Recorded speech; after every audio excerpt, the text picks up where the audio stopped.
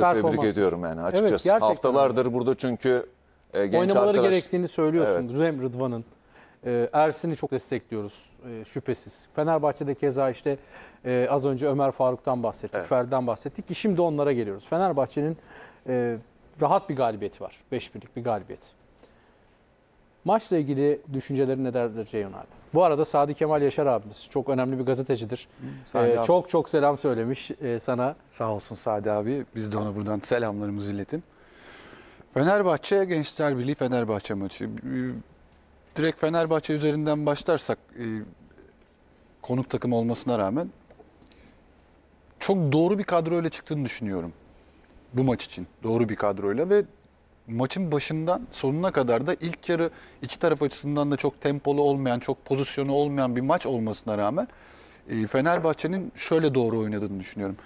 E, Gençler Birliği'nin Beşiktaş'ı deplasmanda yendiği maçı hatırlarsanız Evet. Beşiktaş'ın toplu oynama yüzdesi %70'lerde falandı Gençler Birliği'ne karşı ve ona rağmen 1-0 mağlup oldu. Erol Hoca sanki bunu biraz çözmüş gibi topu Gençler Birliği'ne bıraktı. Yani maçın geneline de bakarsak, ilk yarıya da bakarsak, ilk yarıda çok pozisyon olmamasına rağmen yine topla oynama üstünlüğü yüzde olarak Gençler Birliği'nde. Çok Ama- doğru. İstatistiğe bakar mısınız? %46 topla oynuyor Fenerbahçe, %54 Evet. Gençler Birliği. Evet. Ee, ama ikinci yarı Fenerbahçe bunu nasıl çözdü? İkinci yarı e, biraz daha önde baskı yapıp rahat top oynatmama. Daha doğrusu çok da önde demeyeyim. Biz ne diyoruz? İkinci bölge diyoruz ya. Ben çok Evet. sevmiyorum o e, tabirleri. ikinci bölge, üçüncü bölge. Futbolun içinde var da yorum yaparken sevmiyorum. Kendi alanına doğru birazcık çekilip Gençler Birliği'nin biraz gelmesini sonra o alanda baskı yapıp hata yapmalarını sağladı. Yine ikinci yarı Gençler Birliği'nde olmasına rağmen e, toplu oynama yüzdesi Fenerbahçe 7 tane pozisyona girdiyse ki aşağı yukarı o kadar ya da 8 tane pozisyona girdi. 5'i gol oldu. Yani çok üre- e, üretken oynadılar. Çok toplu oynamadılar ama skor anlamında çok üretken oynadılar. Gençler Birliği de buna bir çözüm bulamadı. E, Onlar da kötü bir dönemden geçiyorlar. E, Teknik adamları ayrıldı, yeni menajer. Orada da bir Gençler Birliği camiasının içinde de e, birkaç sezondur e, garip şeyler var. Yani sportif anlamda çok sürekli hoca değişikliği oldu çok za- kısa zaman zarfı içerisinde. Bu da oyuncuları etkiler. Bir de doğru oyunu bir türlü bulamadı Gençler Birliği. Toplu oynuyor ama pozisyonu yok. Taner, e, Fenerbahçe'nin en büyük avantajı oldu. Doğru oyun. Ön tarafta doğru oyuncu dizilimi. dizilimi. Çünkü daha önceki maçlarını hatırlayın. Ee, Şimdi maçtan önce herkes şunu söylemiş olabilir. Caner'le Gökhan'ın eksikliği Fenerbahçe'yi çok etkileyecek. Neden? Çünkü ikisi de kanatlardan Bin lira. sürekli oyunun içinde olan. Biraz önce Gökhan'ın söylediği şey Yalçın'ın söylediği gibi Gökhan gibi Caner gibi sağ bek oyun kurabilen oyuncuları var Fenerbahçe'nin. Hem oyun kurabilen hem hücumda, ofansta çok etkili olan oyuncuları var. Ee, Bir önceki maçta Konya'ya mağlup olduğu maçta Konya bunu çözmüştü. Bir kapattı orayı. Fenerbahçe'nin pozisyonu olmadı. Ben bir programda yorum yaptım. Orada şunu söylemiştim. Erol Hoca'nın çok derin bir kadrosu var. Bu kadro içerisinde bir iki formasyonu belli maçlara göre oynayabilen bir takım oluşturması lazım. Bugün biraz onu gördük. Kanatları çok şey olmamasına rağmen, Aktif olmaması. aktif olmamasına rağmen e, Fenerbahçe 5 tane gol attı bu maçta. Neden? Kenardaki oyuncular içe kat eden, adam eksiltebilen oyuncular. Özellikle ikinci yarı, ilk yarı bunu yapamadı Sosa mesela. Oyuna giremedi bir türlü. Topla çok fazla buluşamadı. İkinci yarı ne zaman Sosa biraz daha top inisiyatif almaya başladı, topla oynamaya başladı. Ön tarafa doğru pasları atmaya başladı. Böyle de golleri buldu. Ama bir taraftan da Gençler Birliği'nin bir çok ciddi bir önlem alması, bir şeyleri sorgulaması gerekiyor. Kesinlikle. Taner, e, maçın rakamlarına baktığımız zaman Evet. Ceyhun Hoca'nın da söylemiş olduğu gibi top Gençler Birliği'nde ama 5 farklı bir galibiyet. Nasıl oluyor? Şöyle oluyor. Ee, Erol Hoca'nın Alanya Spor kariyerinde ve daha önce Malatya'da yaptığının benzerini yaptığını gördük. Deplasmanda topu rakibine veren, e, zaman zaman bunu yapan bir Erol Bulut vardı ki bu iç sahada da zaman zaman olan bir durumdu. Hatta e, çok böyle kritik sonuçlar aldığı maçlarda %30'larda topa sahip olan bir Erol Bulut takımları da görmüştük. Fenerbahçe'de belki %30 seviyelerine inmesi çok mümkün değil bu oranın ama e, topu rak- rakibe vermek biraz Erol Hoca'nın tercihi gibi duruyor. Birinci nokta bu. İkinci nokta e, Caner Gökhan'ın yokluğunda Lemos'un bir bekte diğer tarafta Novak'ın olması e, artılarına baktığımız zaman birincisi e, sırıtmadılar. Pozisyon vermedi Fenerbahçe maç Pozisyon boyunca. vermediler. Neredeyse. E, şimdi Caner ve Gökhan'la çıktığınız son karşılaşmada bu iki oyuncunun rakibe kaptırdığı top sayısı 68'di. Lemos'la Novak'ın kaptırdığı top sayısı 26. Daha garanti oyun. Daha garanti oyun, daha az top kaybı. Takımın toplamının top kaybı sayısı bu karşılaşmada 130'du. Halbuki geçtiğimiz hafta bunun yarısı kadarını sadece iki adamınız yapmıştı. Topu biraz rakibe verip, biraz da garanti oynayarak, topu az kaybederek Fenerbahçe istediği sonuca çok daha rahat bir şekilde ulaştı. Ve e, biraz da Erol Hoca'nın e, daha garanti bir oyun planı içerisine girdiğini gördük. Geçtiğimiz haftalarda biz bunu çok eleştirdik. Antalya Spor galibiyetinde de benzer bir durum vardı. Konya Spor yenilgisinde de.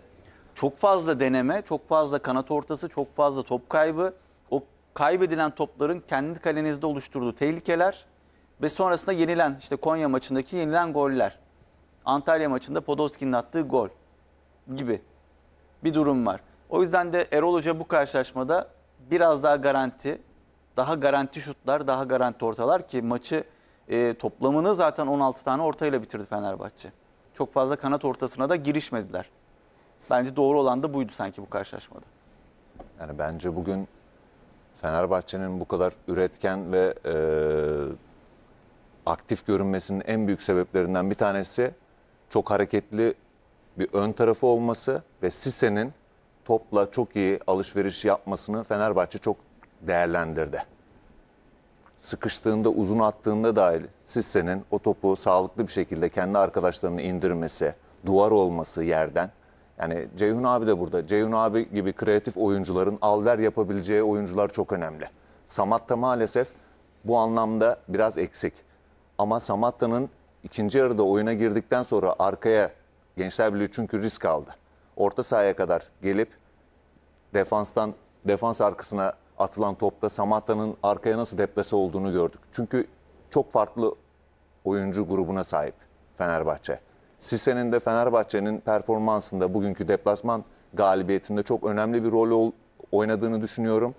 Keza Mert Hakan'ın da yani o kenar oyuncularıyla alver yapması, işin içerisine girmesi ve ben buradayım, kaliteli bir oyuncuyum demesi yani resmen hodri meydan Müthiş de bir gol attı. yani. Evet bir de şey de çok etkili oldu senin e, söylediklerine ilaveten e, özellikle Pelkas'la e, Mer- Mert Hakan'ın oyun içinde dikkat ettiysen Kısa zaman zaman çok çok- çok, aynen. yer yer de Aynen. değiştirdi. Yer değiştirdi. Şimdi Pelkas sağa geliyordu. Evet. O ortaya geliyordu. Bazen Pelkas ortaya geliyor. Mert Hakan ki Mert e, Pelkas oyundan çıktıktan sonra uzun bir süre Mert Hakan oynadı Evet. sağ tarafta. Ve bu da rakip defansı e, şaşırtıyor ister istemez. Ya bu, bu nereye gidiyor? Bunu mu tutacağım, onu mu alacağım derken e, zaafınız. Zaaf veriyorsunuz. Ki birçok yani Fenerbahçe'nin attığı golde sadece Fenerbahçe'nin becerisinin haricinde defans duruş hataları da var. Hamle hataları da var Gençler Birliği'nin motivasyon bozukluğundan. Bak sen mesela dışarıda arada çok güzel bir şey söyledin. Onu söyleyebilirsin. Fenerbahçe'nin şu an oynadığı formatta. Erol Hoca nasıl bir oyuncu istiyor normalde? Normalde ben e, haftalardır şu oyun şablonuyla 4-2-3-1 ama her zaman 10 numara oynama özelliğine sahip olan oyuncudan Mert istediği peki şuydu. dolduramadı mı orayı? Yani Mert çok iyi performans gösterdi ama mesela Beşiktaş derbisindeki 10 numara pozisyonunda Mert mi oynar? Ama Yani işte bu maçta da sırtı- çok öyle oynamadı. Yani Evet, dönem sırtı dönem dönük, Pelkas'la evet, çok O bloklar arasında top alma özelliğini sağlayacak bir oyuncu grubuna hala sahip, sahip değil değil. Fenerbahçe. Sosa öyle bir oyuncu değil. Değil. Sırtı dönük. Ozan öyle bir oyuncu mu? Ozan da değil. Değil.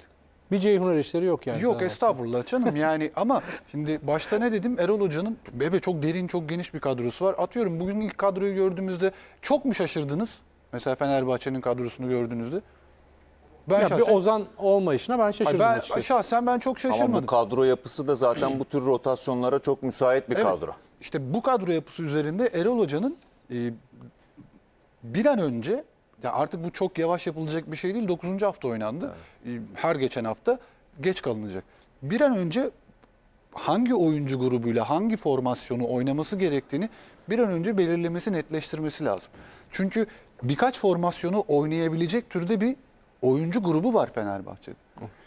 Ama Bazen- o Bunu numara çözdüğü eksik. zaman Bazen içeride çift santrofor bile oynayabilirsiniz. Mesela 10 numara pozisyonunu kaldırıp 4-4-2'ye bile dönebilirsiniz. Yani o birkaç formasyonu oynayabilecek gruba sahip olduğunuz zaman o formasyonları da oynamanız lazım. Ama 3-5-2 de bunun olur. antrenman 3-5-2 de olur tabii. Ha, oynayabilmeniz lazım. Çünkü o oyuncu grubuna sahipsiniz. Yani giren çıkan aynı fark etmiyor. Hadi genç oyuncuları bir tarafa koyabiliriz. Daha tecrübeli değiller. Ozan Ömer Tufan Faruk'tan giriyor, Pelkas çıkıyor, Caner Erkin giriyor, Mert Hakan Yandaş çıkıyor, Samat da giriyor, Sisse, Sisse çıkıyor, çıkıyor. Yani düşün. Ferdi Kadıoğlu çıkıyor, Perotti giriyor, Gustavo çıkıyor, Ömer Faruk Beyaz Ama giriyor. Ceyhun abi bir de bir şunu var. maçı izlerken şu izlenimi sağladım. Gençler Birliği'nde sağ bekte oynayan sol ayaklı. Evet o geçen haftadan Yani kırmızı baktığınızda kartlı yönlendirmeleri-. Mesela yönlendirmeleri çok net belirgin bir şekilde ortaya çıktı. Diego tarafını Sise kapatıp sol ayağını Zarga Toure'ye doğru ve e, Halil herhalde Evet, Halil Halil. İbrahim'e o tarafa doğru yönlendirip oradan oyun kurulmasını istedi.